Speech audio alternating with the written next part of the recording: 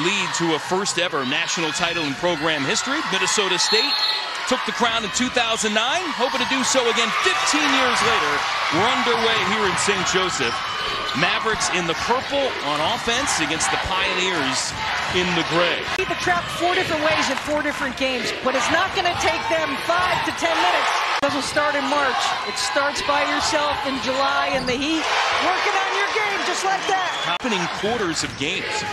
And Ashley Ingram telling us that she gets just as much of a kick out of giving the assist as she does making the basket. Joey in the junior out of Stillwater, Minnesota. You can't dribble through through them when you're when you're running in the half court. You can coming into this game here this week, but again they just generate so many possessions for themselves that the numbers come in their favor, and that's a huge number three there from Texas Women's University. Baseline attack, Ingram just gonna scoop it up and collect.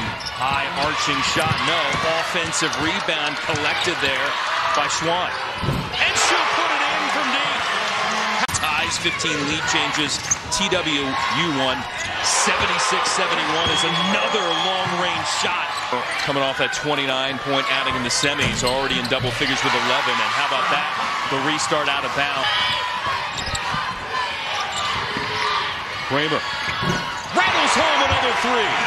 Sixth of the half for Minnesota State. 18. Ingram doing what she does, just attack the rim to get it home. Nine points. Full-on Maverick assault now at both ends of the floor. How about Seltzer? Crafty and one. And this is a saucy little move. Yeah, she, well, she was really upset with herself the last time down the floor at the opposite end. In the win against the Mavericks in November, 12 points from the floor. Minnesota State's got now 17 to work well together. They find Ingram underneath. Another nice assist pass there from Ingram.